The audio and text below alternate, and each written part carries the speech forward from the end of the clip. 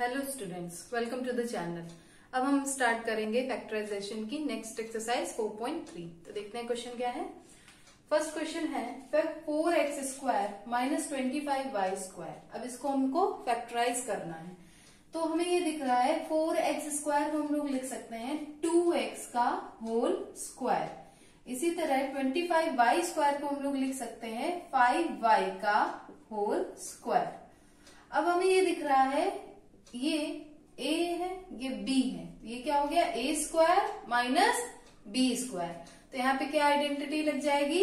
A square minus b square की identity क्या होती है? A plus b and into a minus b तो यहाँ पे वो यही आइडेंटिटी लगा देंगे, क्या आ जाएगा? Two x plus five y and two x minus five y ये हमारे फैक्टर्स हो गए। नेक्स्ट पार्ट देखते हैं क्या है? Nine x square minus one जैसे हम लोगों ने फ़र्स्ट क्वेश्चन किया, वैसे ही देखते हैं इसको।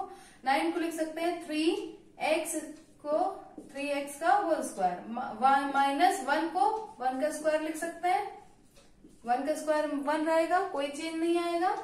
फिर a square minus b square फिर से आइडेंटिटी लगाएँगे तो क्या आ जाएगा? Three x plus one and three x minus one ये हमारे फैक्टर्स